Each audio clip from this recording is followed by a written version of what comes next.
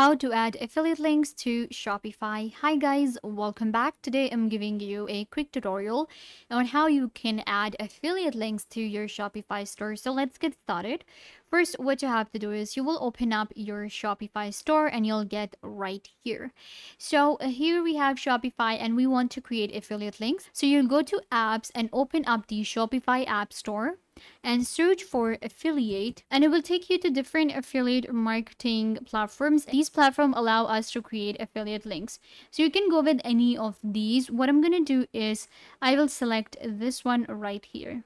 And now you just have to click on add app click on install app enter your store url and then create your account on this platform and it will allow you to create affiliate links if you go to your settings then go to your apps and sales channels. It will show you different apps that you have added.